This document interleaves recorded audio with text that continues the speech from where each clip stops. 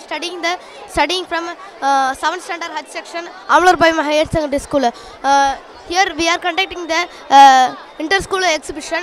Uh, now we are doing the uh, exhibition of smart village. The main scheme of this project is to develop the village into a, smart village. We will know about the government.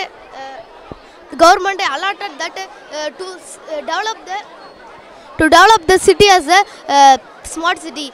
But they uh, but they do not uh, caring about the uh, village itself because the uh, Indian the Indian government uh, allotted 90 percentage of 90 percentage of good things to the city but not to the villages.